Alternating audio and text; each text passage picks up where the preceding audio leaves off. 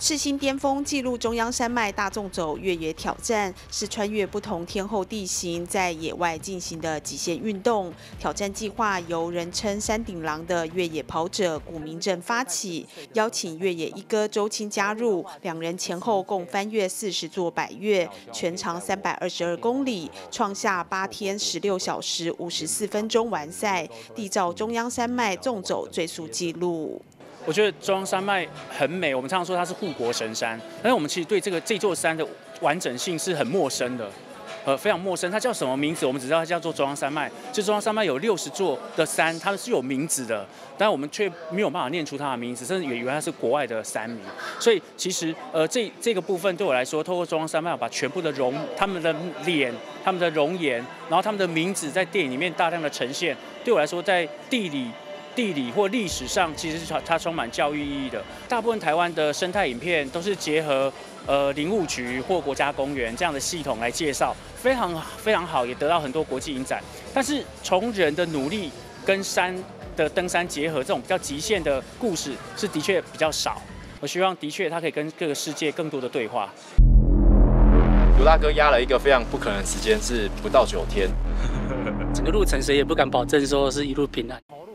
片中不仅有古明镇与周青正式挑战时的跟拍记录，也有他们训练及场刊的画面，以及两位跑者险些坠崖、溺水等惊险过程。相差三十岁的两人，过程中不断突破自我极限，也发生剧烈争吵，最终一同完成这项艰难的挑战。那就是险隘。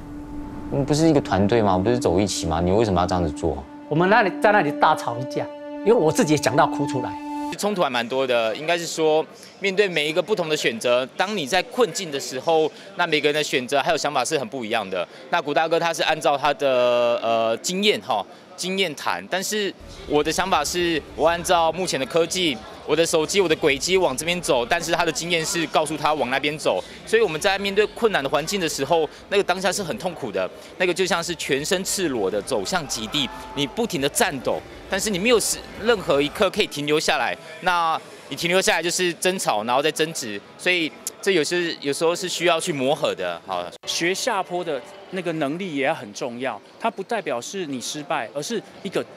处境而已。我们人常常会在高山跟低谷间排档回档，我们不见得一直都在高峰，所以教育里面教我们一直上高峰，教我们练习高峰的技巧，其实我们要练习下坡的技巧，我们才有办法在能力上一个峰。中央山脉的故事，赤心巅峰不是教我们只爬一座山，它是连峰式的爬山，所以它一定是上上上下下一直爬。所以对我们来说，这个故事其实充满了教育的意义。哦，然后也其实也蛮砥砺人心的。任何企业也好，或者是呃自己来对应自己的人生，我觉得都会有很好的对照才对。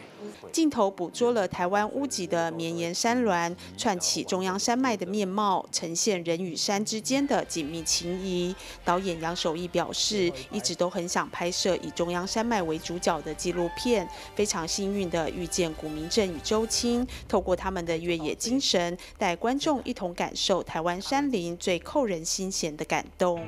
记者林希慧台北报道。